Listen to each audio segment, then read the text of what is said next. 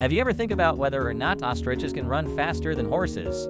It's a very common question, and the answer may surprise you. With their long legs and powerful wings, ostriches are capable of reaching remarkable speeds. But how do they compare to horses?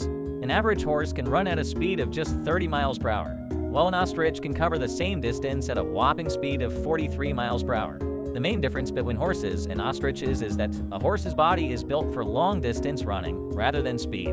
They are better equipped for covering long distances at lower speeds, while an ostrich is designed for bursts of tremendous speed over short distances.